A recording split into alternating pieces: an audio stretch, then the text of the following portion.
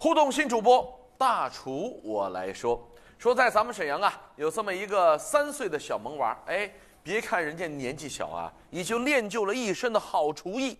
最近，小厨神泽泽呢，就用自己专属的小厨具，给爷爷奶奶做了一大桌子的菜呀。泽泽一两岁的时候就喜欢玩过家家，平时玩的都是塑料的小玩具。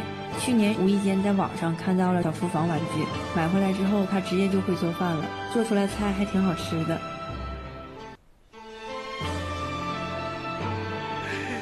各位咋样啊？厨师服一穿，这厨师帽一戴，这一招一式太像样了哈。